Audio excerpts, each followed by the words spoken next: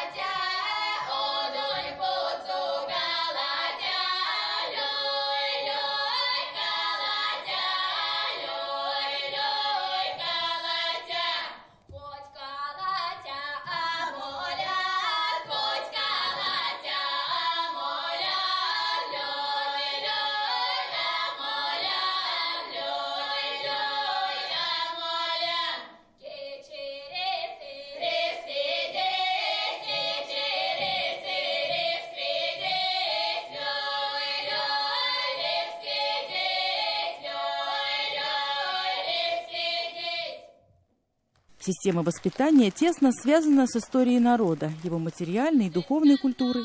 Благодатный педагогический материал веками накапливался в устном народном творчестве и народно-прикладном искусстве, фольклорных произведений, которые так близки и понятны детям. О фольклоре как средстве патриотического воспитания дошкольников говорят ученые не первый год. Сейчас нет в государстве нет другой идеи, вот, национально-патриотического воспитания, чем традиционная культура. Все остальные воспринимаются слишком идеологически, понимаете? С молодежь сейчас очень сложно, ее трудно чем-то увлечь. Единственная ненавязчивая э, такая национальная патриотическая идея – это традиционная культура, в которой можно жить э, и потихоньку учиться любить народ, страну, родину свою. Специалисты из регионов России во время проведения научной конференции в Казани обсудили традиционное искусство и образование. Есть э, энтузиасты э, в любой сфере, да, которые хотят не просто какую-то песню скопировать, а восстановить язык музыкальный. Он живет, у него своя лексика есть, свои законы сложения. Вот. И раньше это сейчас много таких коллективов. И если раньше это был удел только взрослых, считалось, что специфически детского репертуара нет, и они не могут воспроизвести какие-то сложные образцы. Сейчас вот э, опыт последних лет, там, не знаю, 15-20 э, показывает, что детям это тоже доступно в определенной мере, но все-таки доступно.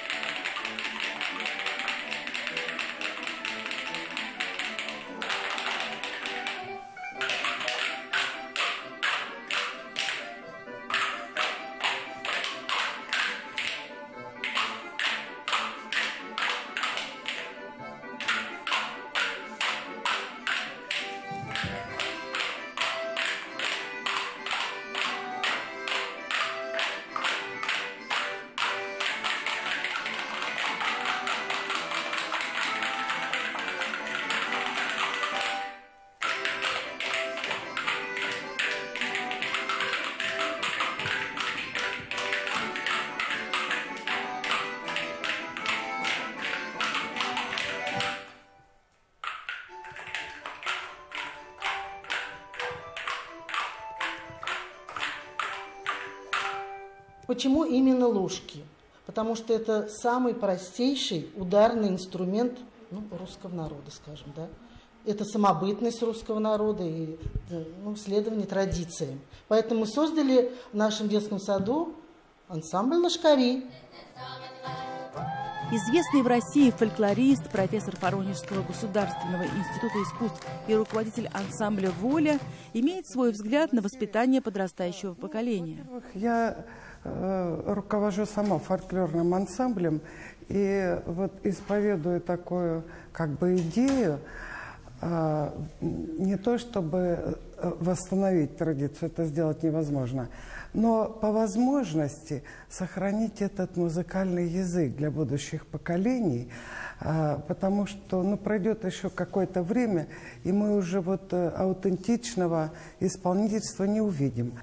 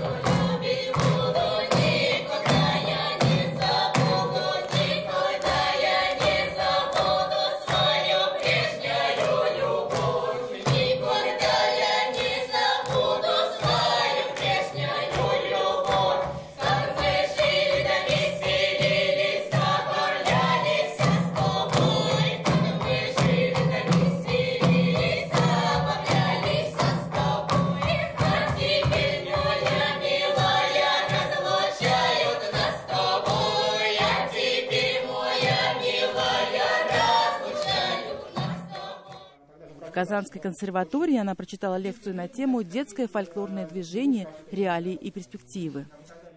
Уйти от слепого копирования, а понимать язык, понимать, уметь сделать модель, по которой ты будешь импровизировать и вот восстанавливать тот или иной песенный образец. Это детям тоже доступно.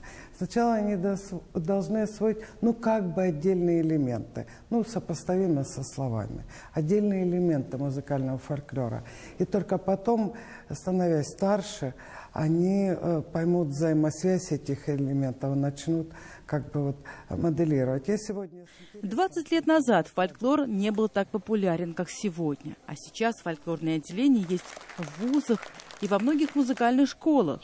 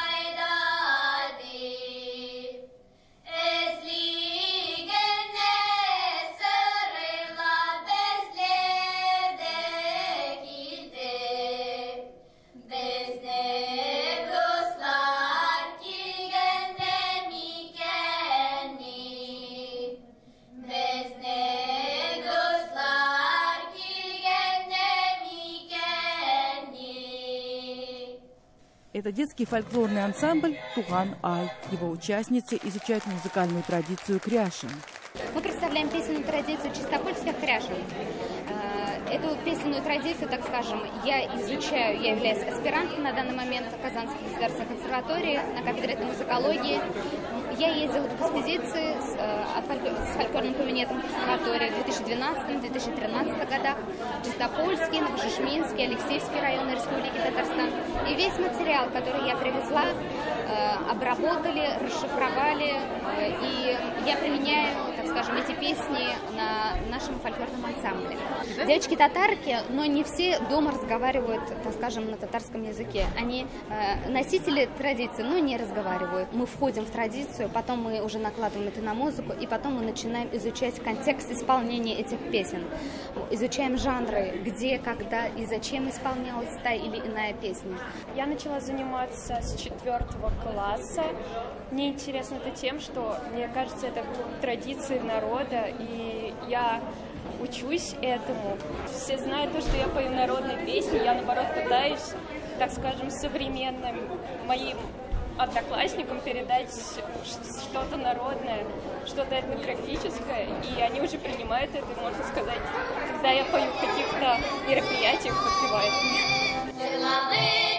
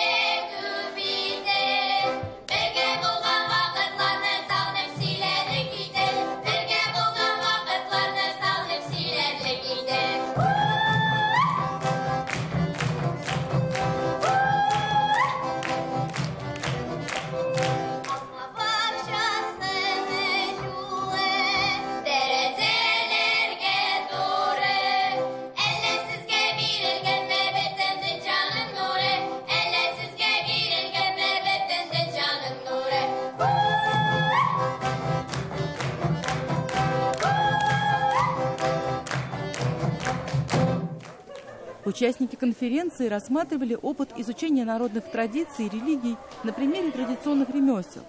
Все это не что иное, как сохранение этого культурного разнообразия языкового наследия народов Поволжья. Очень много интересных докладов прислали для публикаций, в том числе вот с республики, Чуваши, Республика Башкортостан, Самарская область.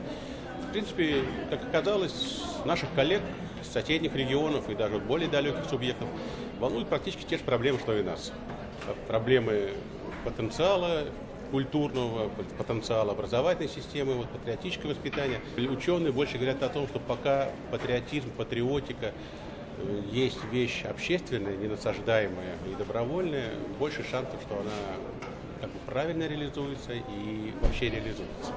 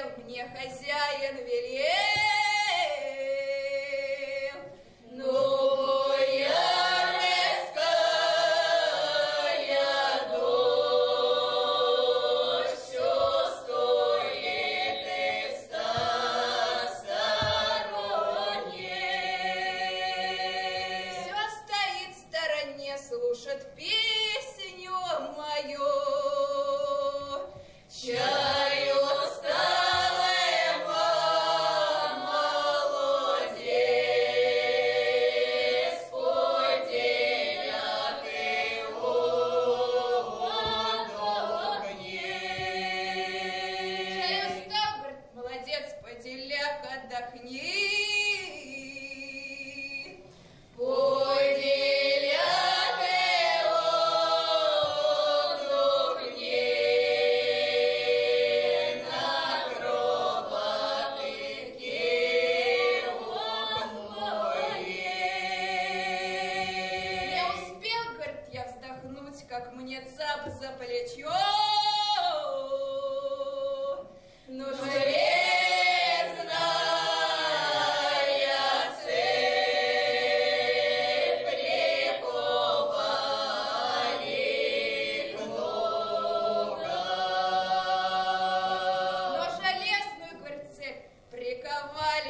Good.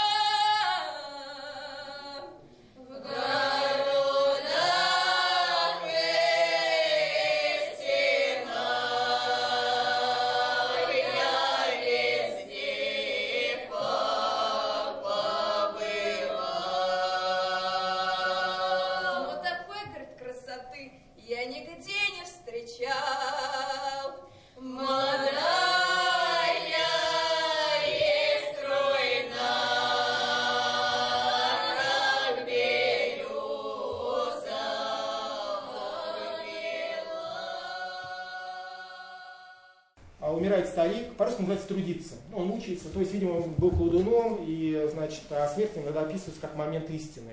Ему не умереть, пока он, э, ну, ну, его как бы не отпускает, да, пока не, не будет совершен какой-то обряд, потому что он грешил. И тогда один из его, то ли родственников, то ли сыновей, жалившись, ну, три дня прошло, это срок, он взял топор, залез на крышу дома, воткнул в конек крыши.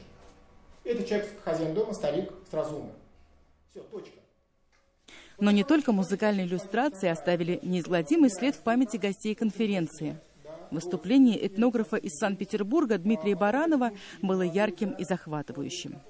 Ну, если, скажем, брать европейскую традицию, то знаменитый килт, да, это шотландская юбочка мужская, да, но этнографы знают, что она была изобретена в конце 18 века, известен даже автор, там офицер, вот, но сейчас это воспринимается как аутентичная традиционная деталь костюма шотландца гор, горского. Кандидат исторических наук, заведующий отделом этнографии русского народа Российского этнографического музея и тему для своего выступления избрал особую – в поисках необычного в обычном.